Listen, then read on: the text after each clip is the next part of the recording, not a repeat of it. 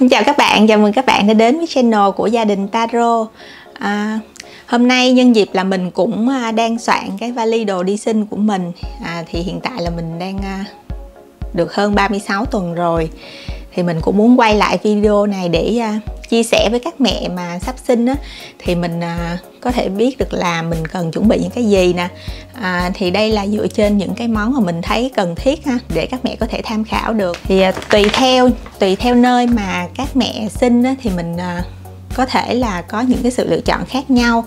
À, lần đầu sinh taro thì mình sinh ở từ vũ với lại đợt đó là đi uh, đi khám xong rồi nhập viện luôn. Cho nên là trước đó đồ chuẩn bị sẵn rồi thì chồng mình chở lên sau thôi.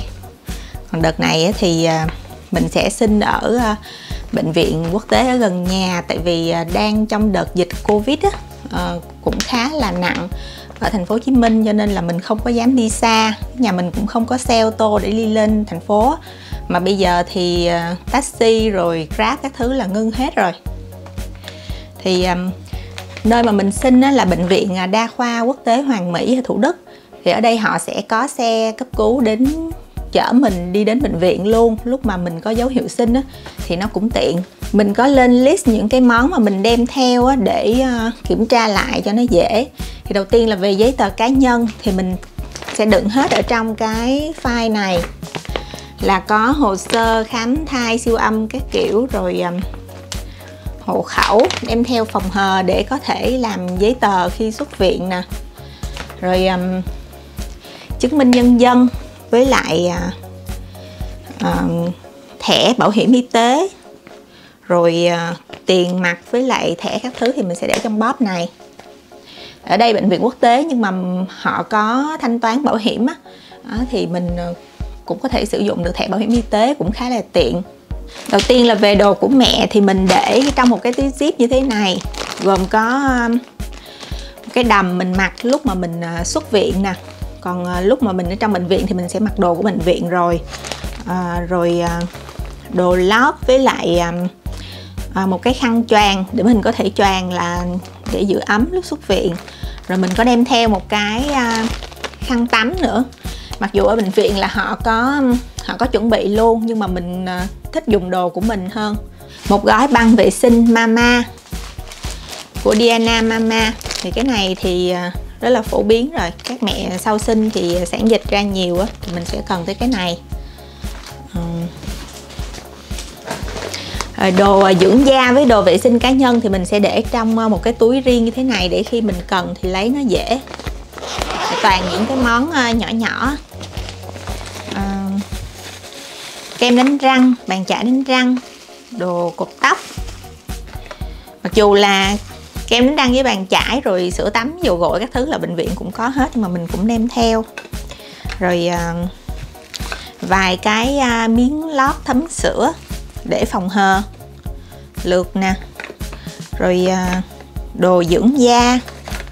Đồ dưỡng da thì mình đem theo một vài món để nếu mà mình có thời gian thì mình sẽ dùng dầu tẩy trang. Thì mình không có đem theo tăm bông á cho nên mình chỉ đem theo ờ, dầu tẩy trang thôi. Rồi à, sữa rửa mặt. Cái này toàn là những cái món hàng ờ, à, sample mà mình được tặng. Rồi xịt khoáng. À, serum của Mineral 89 của Vichy. Kem dưỡng của Vichy luôn. À, hai thỏi son một ít thun để mình cần cột cái đồ gì đó thì mình cũng có thể cột được. Rồi à, xịt khử mùi. Kem chống nắng luôn. Với lại à, một chai dung dịch vệ sinh phụ nữ của Lactacid. Thì cái này là có chiết xuất từ à, trầu bà với hoa hồng à, mình mua cái chai nhỏ thôi để đem theo cho nó dễ.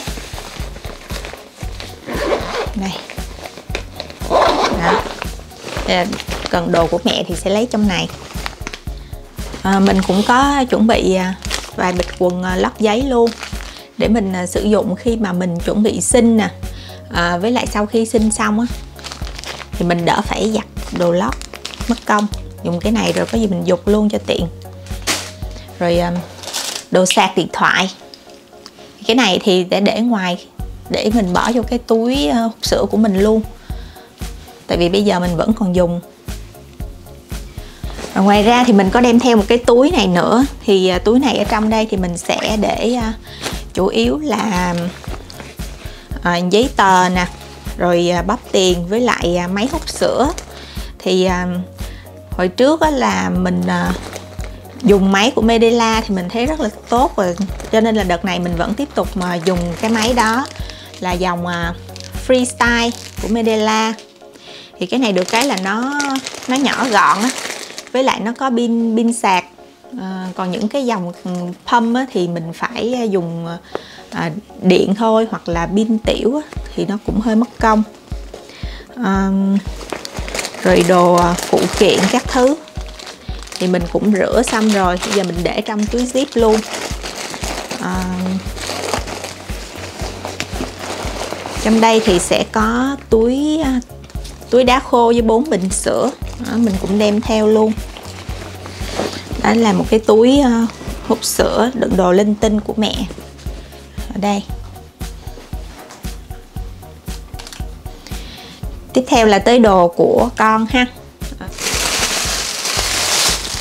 Đồ của bé thì mình đem theo khoảng ờ, uh, 7 bộ. Thì uh, mỗi ngày thì sẽ có hộ lý tắm cho bé nè thì mình cần phải thay một bộ xong rồi à, à, đem theo phòng hờ mấy bộ thí dụ có bị dơ gì đó thì mình có đồ mình thay luôn. À, đó thì đồ thì mình sẽ để hết ở trong một cái cái túi ni lông thế này để có gì à, dễ lấy với lại nó cũng à, vệ sinh hơn. À, mình cũng có mua hai set gồm à, nón nè bao tay với bao chân. Ờ, mặc dù là mình nghĩ là bao tay với bao chân thì mình cũng sẽ không có sử dụng nhiều đâu nhưng mà à, lúc mà em bé mới sinh mà có cần ủ ấm hoặc là khi mình xuất viện về đó thì mình sẽ có cái để dùng. À, và một bịch riêng để đựng à, khăn sữa. Thì ở đây mình có đem theo à, 5 cái khăn sữa này để dành cho bé. Còn cái có hoa văn để phân biệt thì cái này là dùng cho mẹ. À, mình có chuẩn bị thêm à, 3 miếng lót để à, lúc mà mình thay tả thì mình có thể sử dụng cái này để mình lót ở dưới thì nó sẽ không có bị dơ ra à, giường hoặc là nôi. À, mình có một cái bịch à, riêng để mình đựng các loại khăn rồi khăn choàng cho bé. À, đợt này thì mình sẽ thử dùng à, khăn chuẩn để quấn cho bé. Rồi à, một cái khăn để lau khi bé tắm. À, cái này là khăn từ sợi tre thì nó cũng rất là an toàn cho bé. Một cái chăn để mình phòng hờ mình đắp. Uh, chăn này thì mình làm mua ở Mother Care. Nó là dạng chăn lưới như thế này. Nó có những cái lỗ.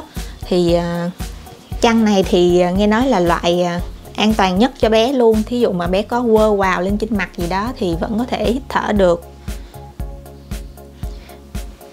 Rồi à, một cái khăn choàng để à, dùng khi mà xuất viện. Thì cái này là hồi đồ hồi xưa của Taro nè. Mình mới giặt lại. Bỏ vô bịch đó luôn. Rồi à, mình có đem theo hai cái khăn lông. Thì một cái là để có thể lót ở dưới nôi cho bé được. Ừ, hoặc là để quấn đắp gì đó cũng được. Với một cái khăn mỏng thôi để à, làm lót đầu làm gối cho em bé. Tiếp theo thì mình có chuẩn bị một bịch tả dáng uh, à, sơ sinh size uh, newborn dành cho bé dưới 5 kg thì cái bịch này là 40 miếng. Thì mình nghĩ là chắc trong mấy ngày ở bệnh viện thì mình có thể dùng trong khoảng này hoặc là ít hơn. Thì mình dư thì mình có thể cầm về thì à, rút kinh nghiệm đợt sinh taro là mình à, hồi đó mình dùng cái miếng lót sơ sinh á thì mình phải dùng thêm cái tả tả vải tả dán bằng vải nữa. Thì mỗi lần như vậy á, thì nó sẽ dễ bị tràn các thứ rồi mình chà rửa nó rất là khó. Nên đợt này mình dùng tả dán luôn vừa tiện rồi có gì mình dục luôn nó cũng vệ sinh hơn. Ở đây mình có chuẩn bị thêm một cái túi này để đựng đựng những cái à, để đựng những cái món linh tinh khác của em bé để mình có thể dễ lấy. À, đầu tiên thì à, trong này là có vài cái gói sữa thanh mình mua của à, Meiji. À, thì đem theo cái này nó sẽ gọn hơn là mình mua cả một cái hộp sữa lớn thì để phòng hờ lúc mà mẹ chưa có sữa thì em bé để có sữa để uống. Thì cái này mỗi lần dùng thì mình chỉ cần bẻ một cái miếng như thế này thôi. Để pha sữa thì nó cũng rất là tiện một lọ dầu tràm. Ừ, vitamin D3 rồi à, kem chống hăm chống và trị hăm cho bé luôn. À, tăm bông cho bé nữa. Một cái à, nhiệt kế. Rồi à, nước muối sinh lý thì mình đem hai loại một loại của Việt Nam với một loại này là của Pháp của để phòng hờ có cần dùng đến thì mình sẽ có cái để dùng. Rồi à, vài gói à, gạt rơ lưỡi của Tati. Thì cái này là nó có thấm sẵn nước muối sinh lý ở trong này rồi. Mình dùng nó cũng vệ sinh thì mỗi lần mình chỉ xé một gói như vậy thôi.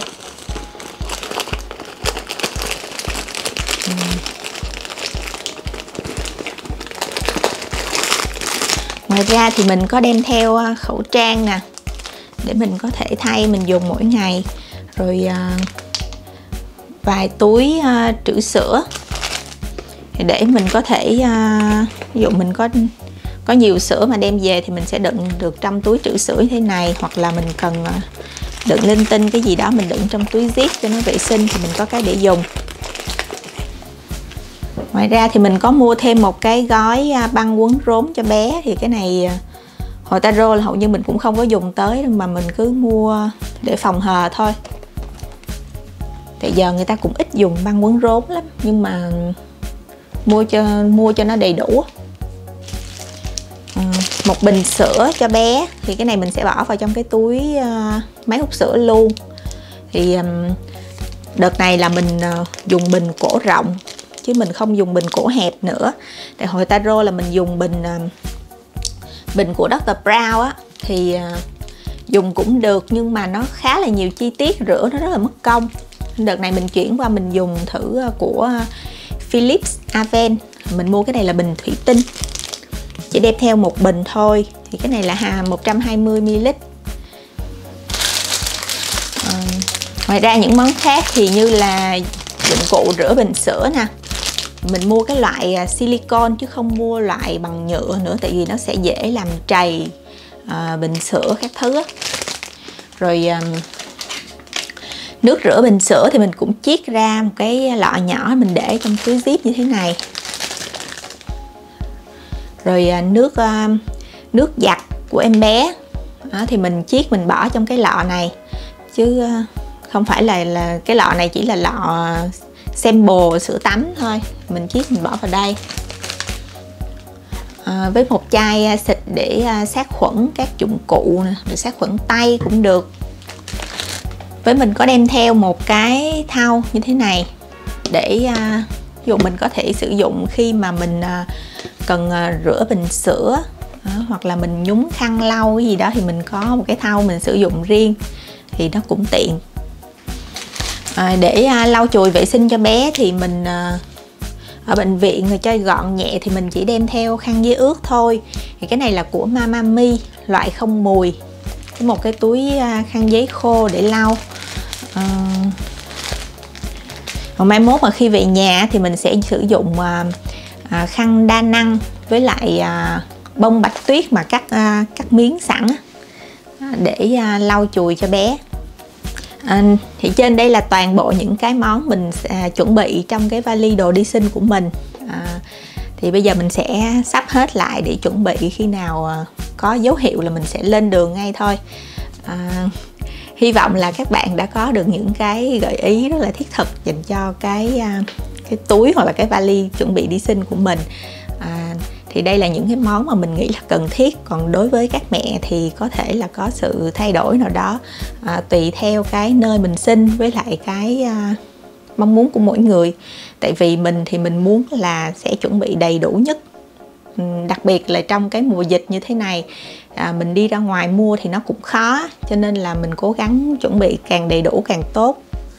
Thì có thừa một chút cũng không sao thì à, video đến đây là kết thúc thôi. Hẹn gặp lại các bạn ở những video tiếp theo của gia đình taro nha. Bye bye.